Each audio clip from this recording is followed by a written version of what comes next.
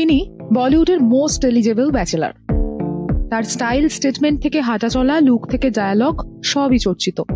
ট্রেন্ডে গা ভাসান না, বরং ট্রেন্ডের শুরু করেন সলমান খান। জামা কাপড় নিয়ে তার খুব বেশি শখ নেই, বরং সাদামাটা আরামদায়ক পোশাকেই তিনি বেশি স্বচ্ছন্দ। তবে ঘড়ি নিয়ে ভাইজানের বিশেষ নেশা রয়েছে।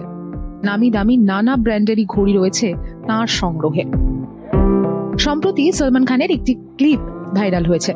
আন্তর্জাতিক সংস্থা জেকব অ্যান্ড কোংয়ের বিশেষ হাতঘড়িতে পোজ দিলেন তিনি। হিরেতে মোড়া এই ঘড়ির বিশেষত্ব কি জানেন? সাতশো চোদ্দটি হীরক খণ্ড দিয়ে সাজানো এই ঘড়ি। ঘড়ির ভেতরে নিখুঁত করে বসানো রয়েছে পাঁচশো চারটি সাদা পান্না ও হিরে কুচি। ঘড়ির ভিতরে রিংটিতে বসানো রয়েছে একশো বাহান্নটি সাদা পান্না। মুভমেন্ট ব্রিজগুলি সাতান্নটি ব্যাগুয়েট কাঠ হিরে দিয়ে সজ্জিত। জানা গিয়েছে, বিলিয়নার থ্রি নামের এই ঘড়িটির মূল্য সাড়ে একচল্লিশ কোটি টাকা। Jay Z Madonna Rihanna Elton জনের মতন সেলিব্রিটিদের জন্য কাস্টম বিলাসবহুল গয়না তৈরির জন্য বিখ্যাত জ্যাকব আরোবা। বিশ্বের বিভিন্ন বিখ্যাত সংস্থার হাত ঘড়ির সংগ্রহ রয়েছে ভাইজানের। তিনি হাতে কি পড়ে আছেন তার দিকে নজর থাকে ভক্তদের। জেকব অ্যান্ড কোংয়ের এই নতুন সংযোজন নিঃসন্দেহে সলমানের সংগ্রহের অন্যতম দামি ঘড়ি।